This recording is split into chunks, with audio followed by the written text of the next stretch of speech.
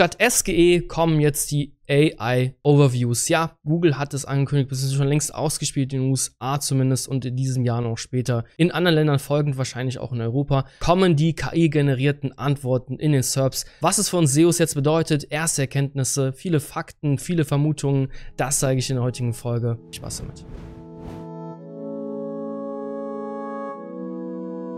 Ja, die große Befürchtung ist äh, da, dass jetzt wirklich äh, Google einfach die, ja, die Informationen, die auf Webseiten verteilt sind, jetzt in eine Art KI, was heißt in eine Art, in eine echte KI namens Gemini reingepackt hat, die Gemini KI damit gefüttert hat und dementsprechend äh, jetzt Antworten geben kann in den SERPs. Man sieht es hier in dem GIF-Vorschaubild. Also hier möchte jemand äh, wissen, wie man äh, eine Couch reinigt und ja, dann äh, wird eine KI entsprechend Antwort liefern und man sieht auch direkt, wo dann die organischen Links in der KI-Antwort sind, äh, nämlich jetzt hier unten als kleine blaue Kästen unten drunter. Passen, kommt natürlich Sponsored Post, also sprich Produkte, wie man denn sein Sofa reinigen kann. Also so viel dazu, so soll die KI dann aussehen, beziehungsweise so sieht sie auch aus, aktuell in den USA bisher nur und soll dann später auch, wie gesagt, später in, den, äh, in Europa Deutschland etc. folgen. Und dieses kleine GIF-Bild habe ich hier einfach mal äh, vorgeholt aus dem Search Engine Land Artikel von Barry Schwartz. Barry Schwartz, den ich mal kennt, auch die meisten äh, da draußen hier, der Gründer und Inhaber von äh, Search Engine Roundtable, auch immer wieder interessant. Neben SEO Südwest ist sozusagen der US-amerikanische SEO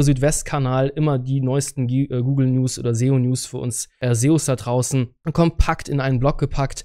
Ja, und Barry Schwartz hat sich halt sehr, sehr intensiv vorab schon mit äh, den Google SGEs in den äh, Google Labs auseinandergesetzt und hat dementsprechend auch einen großen Artikel veröffentlicht am 14. Mai, wo er dann auf viele Dinge eingegangen ist, was denn die AI-Overviews überhaupt jetzt für uns bedeuten. Er schreibt auch hier, dass die AI-Overviews eigentlich ein Part von SGE, also Search Generative Experience, waren 2023 und seitdem konnte man es in Google Search Labs in bestimmten Ländern eben immer wieder testen. Auch sehr, sehr spannend in dem Artikel zu lesen, dass hier äh, spekuliert wurde, dass Google AI Overviews und SGE zusammen veröffentlicht. Aber jetzt heißt es, dass die AI-Overviews eigentlich in SGE und Labs integriert sind. So, deswegen ist der Name SGE auch gestorben. Wir sollen nur noch über AI-Overviews reden. Letzten Endes egal. Hey, wenn sie es alle sagen, AI-Overviews, in den Zeitungen, in den Medien wird darüber auch entsprechend berichtet. SGE ist da mehr oder weniger gestorben. Wir wissen alle damit, was gemeint ist. Eine KI in den SERPs und gut ist. Und hier an dem Artikel sind viele, viele weitere spannende Informationen, wie zum Beispiel, dass die Impressionen wie aber auch die Klicks über diese KI-Antworten, AI-Overviews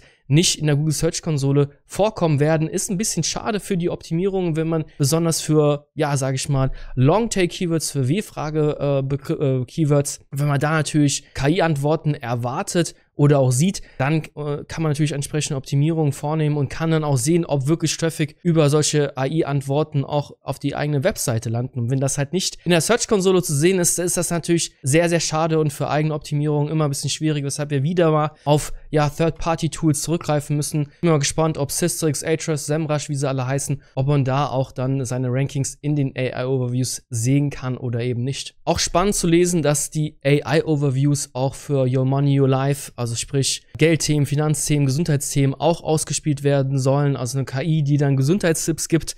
Ja, ob das gut geht, bin ich mal gespannt. Aber auch spannend zu sehen, dass ja nur die AI-Overviews, also hier wird noch von SGE gesprochen, der Grafik, dass die gar nicht so stark ausgespielt werden. Also sprich, in 58% der Fällen wurde überhaupt gar kein SGE ausgespielt. Also sprich, sind viele Suchanfragen aktuell in den USA noch komplett ohne KI-Antwort. Das ist erstmal ein bisschen beruhigend, auch für uns SEOs und natürlich auch äh, sehr, sehr beruhigend für uns SEOs zu sehen, dass es eben hier organische Links gibt als Quellenbeweise.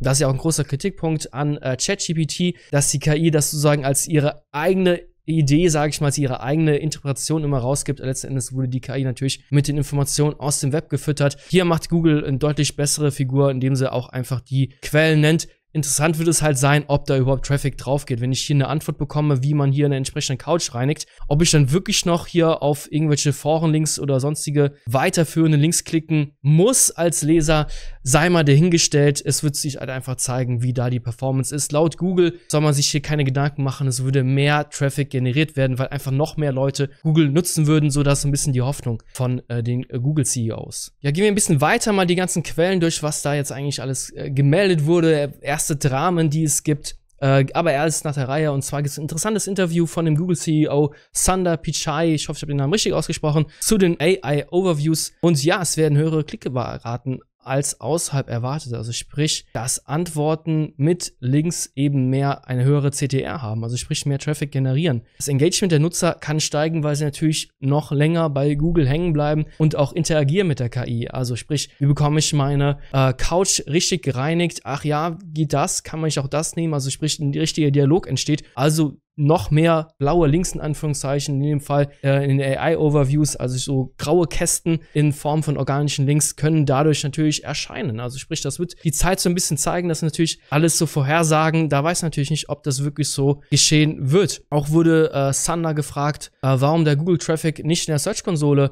gezeigt wird, also sprich der Traffic über die AI-Overviews. Und hier ging es darum, ähm, dass er gesagt hat, dass man die Menschen dazu bringen will, natürlich nur rein für den User zu schreiben, die besten Antworten zu liefern. Der Rest passiert dann ganz von alleine. Also er hat natürlich große Angst, dass die ganzen Spammer nur auf die AI-Overviews gehen, versuchen die KI zu verwirren und da eben ihre organischen Links zu platzieren. Deswegen sind sie hier sehr, sehr vorsichtig, um ähm, ja wirklich da ähm, Zahlen, echte Zahlen, echten Traffic-Werte zu ähm, ermitteln, in der Search-Konsole auszuweisen. Das ist mal so ein bisschen meine Vermutung, aber hier steht einfach, dass äh, man Menschen dazu bringen will, gute Inhalte zu erstellen und detailliertere Informationen würden dazu führen, dass Menschen sich daran auszurichten. Naja, äh, sei mal dahingestellt, es ist auch wieder, mm, zeigt einfach, dass Google nicht wirklich transparent ist und ähm, ja, wir sollen einfach schön brav nach deren Nase tanzen und äh, bloß nicht die AI-Antworten zu spammen. Bin ich auch gespannt. Es fühlt sich so ein bisschen an wie die Anfangszeiten äh, von dem ganzen äh, SEO-Kram, dass man sehr, sehr viel äh, Spam betreiben konnte, um eben die AI-Antworten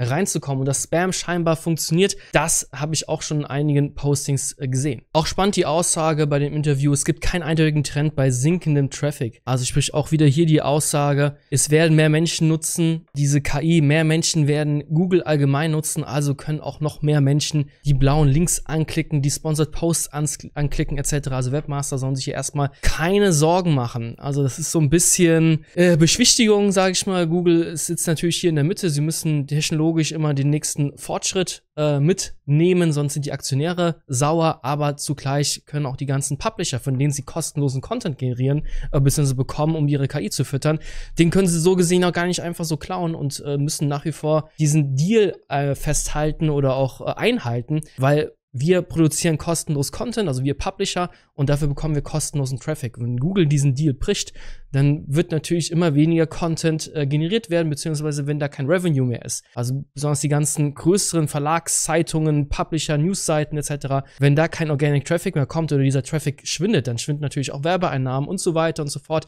Also eine Riesenkette, die dann, ähm, sage ich mal, äh, zusammenbrechen kann. Da ist Google natürlich auch immer gefragt, hey, da auf jeden Fall eine, eine goldene Mitte zu finden und das dürfte sehr, sehr schwierig sein. Hier versuchen, versucht er zumindest Interview äh, zu beschwichtigen und sagt, hey, es gibt keinen eindeutigen Trend bei sinkendem Traffic und ja, das wird eigentlich die Zeit zeigen, ob das so sein wird oder eben nicht. Ja, wie vorhin schon erwähnt, natürlich sind die Spammer schon schwer aktiv und äh, haben auch die AI-Overviews schon im Ziel natürlich. Äh, wenn man sich hier so ein paar Beispiele anschaut, hier von Lily Ray zum Beispiel, doch recht bekannte äh, SEO-Consultant, SEO-Expertin, whatever, was man auch gerne dazu sagt. Also sie schreibt hier in ihren LinkedIn-Post, dass es wirklich sehr, sehr viele Spammer gibt aktuell. Also sprich, die ganzen Google-Filter, die ganzen Filter, die Spam bekämpfen sollen, die die Spam-Seiten weg fernhalten sollen für den Serbs, scheinen noch nicht aktiv zu sein in AI-Overviews. Also sieht man immer wieder auch hier das Beispiel, welches in den Show Notes entsprechend verlinken, dass hier doch sehr, sehr viele, doch sehr, sehr merkwürdige Seiten in den AI-Overviews als vertrauenswürdige Quellen genannt werden. Also da muss Google auf jeden Fall schleunigst nachholen.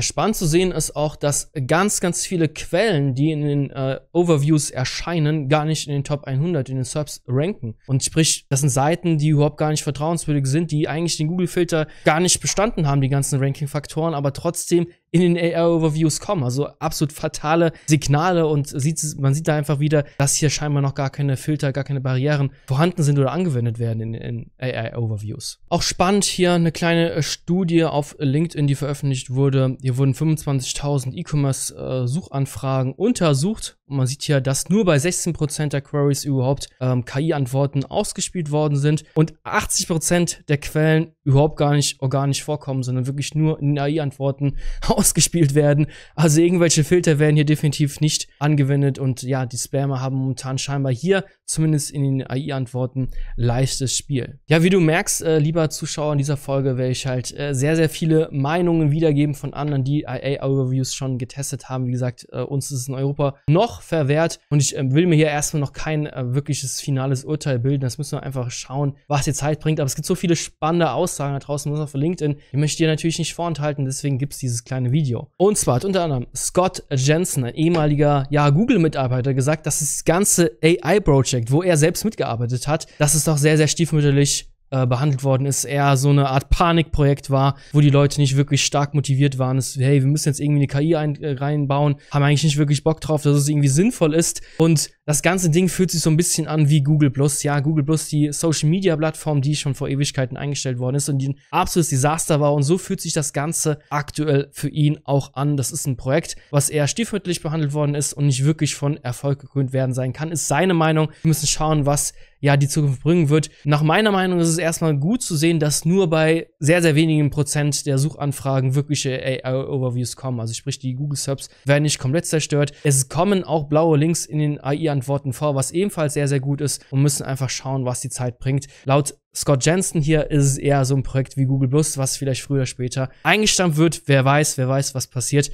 Aber ja, es wird auf jeden Fall spannend bleiben. Ja, auch spannend zu sehen, laut äh, Google Trends gibt es in den USA schon äh, Leute, die nach suchen, how to turn off AI on Google auch wenn es nur ganz, ganz kleine Zahlen sind laut Google Trends. Aber es gibt schon mal die Suchanfrage, dass Leute einfach googeln, hey, wie kann ich diese blöde KI äh, namens Gemini einfach ausstellen. Sehr, sehr spannend, ob hier dieser Graph wirklich steigen wird. Ich glaube, das hängt auch einfach davon ab, wie gut die KI sein wird und wie oft die entsprechend ausgespielt wird. Aber ja, witzig fand ich hier diesen Verlauf auf jeden Fall schon mal. Ja, jede neue Technologie bringt natürlich auch entsprechende Ängste äh, mit sich und äh, da ist natürlich die KI allgemein auch von betroffen, dass es natürlich Personen gibt oder Personenkreise gibt, die vor KI-Einsätzen warnen. Es gibt auch einen ganzen Wikipedia-Artikel dazu, essentielles Risiko durch künstliche Intelligenz, also hier ist die Hypothese, dass die komplette Menschheit aussterben wird aufgrund von Intelligenz, von KI-Roboter, die die Menschheit übernehmen, keine Ahnung. Äh, so ein bisschen Terminator-Flair. Ähm, ich glaube, äh, im aktuellen Stadion von ähm, der Google-KI Gemini müssen wir uns erstmal keine Sorgen machen, ähm, weil unter anderem auch ähm, ja, solche Antworten kommen. Google empfiehlt Klebstoff zum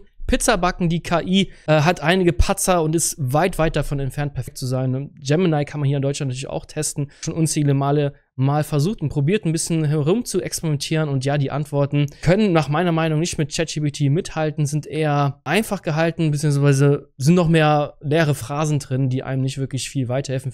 Persönlich finde ich ChatGPT deutlich besser, aber das ist auch mal äh, bisschen Geschmackssache erstmal. Sind beide KIs auch, wie gesagt, überhaupt gar nicht gut. Und das ist auch immer die Empfehlung, ja, einer KI natürlich nicht blind zu vertrauen, besonders wenn es um Pizzabacken geht. Da auf jeden Fall bitte aufpassen, auch sonst generell immer jede Antwort, wie man selbst im Netz äh, rumsurft, immer alles ein bisschen kritisch hinterfragen, nicht alles blind vertrauen. Ähm, dass KI natürlich trotzdem gefährlich werden sein kann, natürlich nicht direkt zum Weltuntergang führt, aber trotzdem Traffic uns klaut. Das ist die große Angst von vielen News-Publishern. Die schlagen nämlich schon Alarm wegen Googles neuen AI-SERPs, also sprich, dass hier sowas wie CNN oder andere größere News-Seiten halt sehr, sehr viel Traffic verlieren werden, weil eben eine KI deren Content nimmt, zusammenfasst, als eigene Idee ausspielt und der User dann überhaupt gar nicht mehr auf irgendwelche organischen Links klicken muss. Das ist natürlich auch eine berechtigte Sorge. Wir fassen zusammen. Alle haben so ein bisschen Panik, alle belächeln die AI-Overviews. Ich habe ich hab heute hunderttausend Mal dieses Wort gesagt. Ich versuche es jetzt nicht mal zu sagen. Die KI-Antworten sind auf jeden Fall da und alle haben so ein bisschen Panik davor. Was letzten Endes bringen wird, Google versucht so ein bisschen zu beruhigen, besichtigen, hey, mehr Leute werden die KI nutzen von Google, also sprich, es gibt ja Möglichkeiten, blaue Links, aber auch Sponsored Posts natürlich entsprechend auszuspielen. Die KI-Antworten werden momentan in den USA nur bei sehr, sehr wenigen Suchanfragen ausgespielt, also um die 10 bis 20 Prozent scheinbar. Ähm, sprich, also gibt es noch sehr, sehr viele andere Suchanfragen, wo eben keine KI-Antworten kommen und da kann natürlich auch weiterhin ganz normal die 10 blauen Links erscheinen. Allerdings hat sich die Suche auch in den letzten Jahren immer wieder krass verändert. Die, äh, das ist Einspielen von, von einem Knowledge Graph, von den Future Snippets. Ja, die Suche verändert sich und äh, ich glaube, wir sind weit davon entfernt, dass wir uns die zehn blauen Links zurückwünschen, wo einfach nur ein paar Ads oben drüber waren. Das ist einfach nicht mehr so. Das ist heutzutage nicht mehr modern, muss mit der Zeit gehen. Und nach wie vor können wir Webmaster, aber auch wir SEOs für unsere Kunden sehr, sehr viel Traffic nach wie vor über die Google-Suche generieren. Die Google-Suche ist nach wie vor einer der größten Traffic-Quellen. Also weit abgeschlagen kommt die ganzen Social-Media-Kram etc. Also Google ist nach wie vor einer der stärksten Traffic-Kanäle. Und ja, wir müssen uns vielleicht für bestimmte Queries auch einfach darauf einstellen, dass weniger Traffic kommen wird. Es will ich allerdings zeigen, wie man in diese AI-Overviews reinkommt. Jetzt habe ich es gesagt, verdammt. Die äh, Google SGE-Antworten, wie man da reinkommt, das wird halt äh, sehr, sehr spannend. Ich bin mal gespannt auf die nächsten äh, Konferenzen auch, was es da dann für äh, ja, geheime Tricks in Anführungszeichen wieder mal äh, geben könnte, wie man denn da reinkommt. Das bleibt auf jeden Fall spannend. Und ja, SEO lebt, SEO wächst, genau wie die Google-Suche und das bleibt einfach spannend. Wer rastet, der, ja, ich will es jetzt nicht aussprechen, aber der bleibt einfach hängen. Und ähm, das ist für uns SEO sehr, sehr wichtig für alle Webmaster draußen, die äh, Google-Traffic beziehen. Man muss einfach weiter am Ball bleiben. Deswegen ist Suchmaschinenoptimierung ein kontinuierlicher Prozess und niemals irgendwie abgeschlossen mit einem Audit und zwei Monate Umsetzung, damit irgendein Tool einen grünen Balken anzeigt. Das ist natürlich völliger Blödsinn. Google, bzw. SEO ist ein fortlaufender Prozess, um für Google zu optimieren. Das muss, glaube ich, jedem klar sein mittlerweile. Und ja, wir sind einfach mal gespannt, was denn diese KI-Antworten bringen und wann sie überhaupt ausgespielt werden in Deutschland, was es da noch für Dramen gibt, äh, wann die ersten Verlage Google verklagen werden, wie der Traffic sein wird, das muss einfach die Zeit zeigen. Ich würde einfach sagen, bleib einfach am Ball, optimier fleißig deine Seite weiter. Es wird wahrscheinlich ganz viele Third-Party-Tools geben da draußen, die auch dann den Traffic anzeigen werden oder zumindest die Ranking-Position anzeigen werden, ob denn der Content auch in die KI-Antworten gezeigt wird oder eben nicht. Und dementsprechend kann man auch für KI-Antworten früher oder später sehr gut optimieren. Und ja, ich würde sagen, das war's schon mit der heutigen Folge. Wenn du irgendwelche Fragen hast, dann ab damit in den Kommentarbereich. Bis dann, mach's gut.